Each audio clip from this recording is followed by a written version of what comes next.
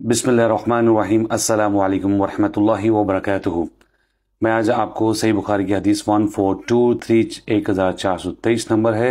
वो सुनाऊँगा। इस हदीस में सात ऐसे किस्म के लोगों के बारे में बयान किया जा रहा है, जिनको क़्यामत वाले दिन अल्लाह ताला के जिस दिन साय के अलावा कोई साया नहीं होगा, उनको उस साय में जगह मिलेगी।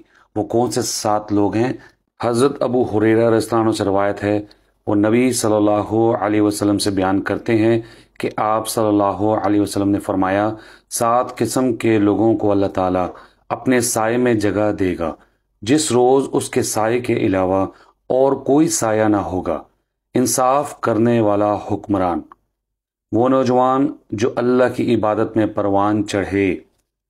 वो शख्स जिसका दिल मस्जिदों में टिका रहता हो, वो दो शख्स जो अल्लाह के लिए दोस्ती करें। जमा हों तो उसी के लिए और जुदा हों तो उसी के लिए।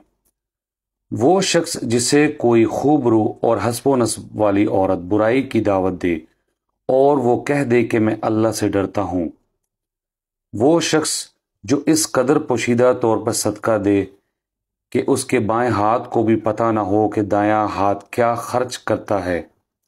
सातवां वो शख्स जो खलवत में अल्लाह को याद करे तो बेसाख्ता उसकी आँखों से आँसू छलक पड़े।